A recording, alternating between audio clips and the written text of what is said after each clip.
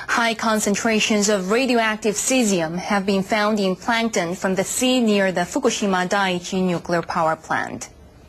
Researchers from Tokyo University of Marine Science and Technology collected plankton in waters up to 60 kilometers from the coast of Iwaki City in July. They found 669 becquerels per kilogram of radioactive cesium in animal plankton from waters 3 kilometers offshore. They say a wide range of fish feed on animal plankton, so the contamination could accumulate in the food chain and have a more serious impact when it gets into relatively large fish. The plankton were heavily contaminated because sea currents continuously carried contaminated water southward from the nuclear plant. Professor Ishimaru, who's the research group's leader, says detailed studies are needed to determine how long the effect on marine life will continue.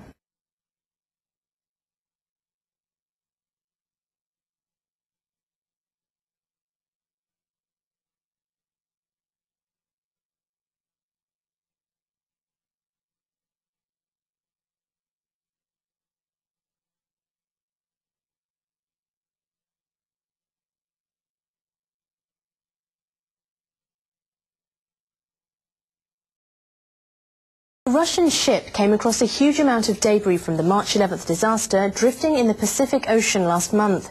U.S. researchers say the debris could reach Hawaii by next year. The debris was found in a wide area of the northern Pacific, about 3,200 kilometers east of Japan and 900 kilometers west of the Midway Islands.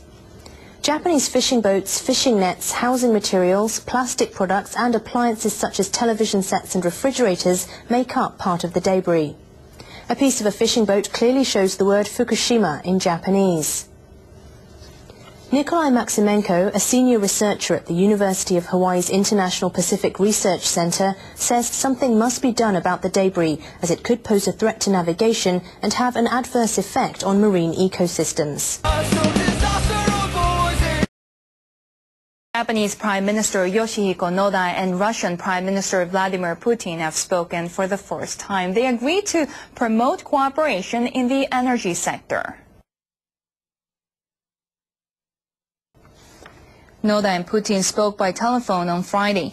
Putin said Russia hopes to keep working with Japan by supplying it with electricity and liquefied natural gas. Noda said he hopes an LNG plant that Japan and Russia are planning to build near Vladivostok will soon be a reality. Putin also said he hopes the Japanese Diet will quickly approve an agreement on nuclear energy that Japan and Russia signed in 2009. Noda said he expects the agreement to be discussed during the next Diet session.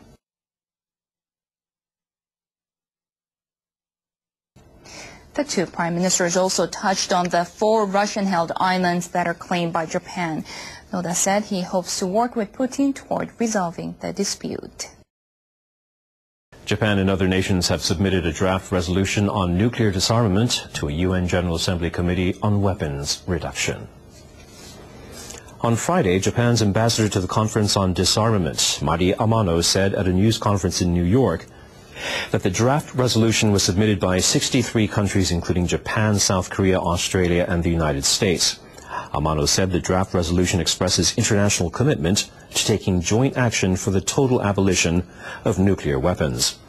Yesterday, I announced on this program that I was going to commit public suicide.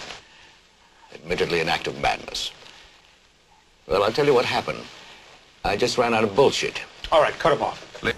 It also expresses concern about a uranium enrichment plant and the building of a light water nuclear reactor by North Korea.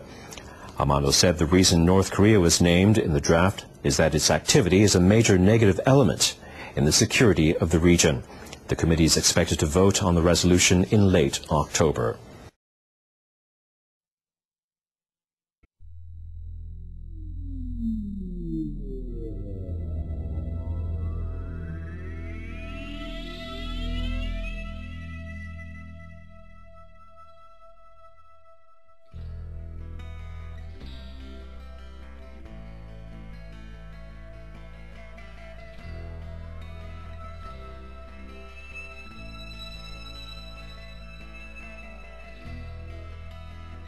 Thousands of witnesses now which can confirm that indeed they show uh, activities which cannot uh, be related to uh, terrestrial, to terrestrial, to terrestrial. Listen, I got something to tell you, and it's very important.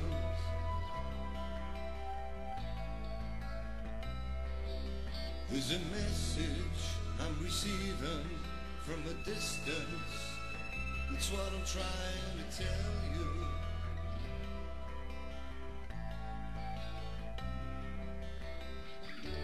It's coming in from another world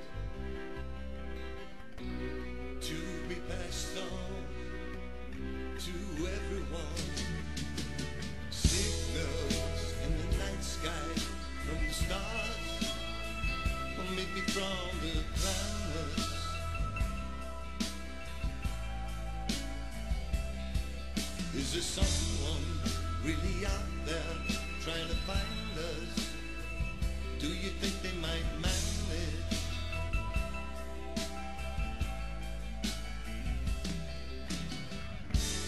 All we can do is keep your hopes alive. There must be something else.